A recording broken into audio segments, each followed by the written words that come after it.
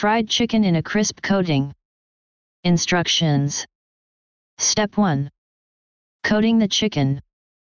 An hour or so before frying, salt and pepper the chicken pieces on all sides. Spread flour on a plate and roll each piece in the flour until it is evenly coated, above.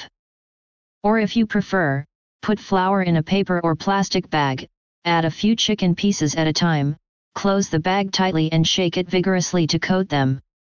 Step 2. Firming the coating. As you flour the chicken pieces, place them on a wire rack so that air can circulate around them.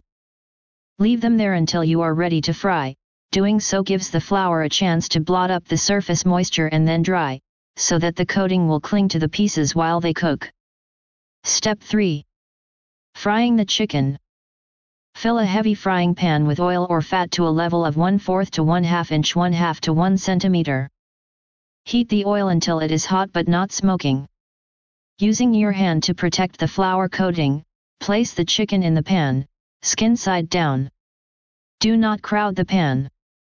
As the skin begins to color, flip the pieces with tongs. Step 4. Cooking until done. Turn the chicken pieces occasionally so they cook evenly.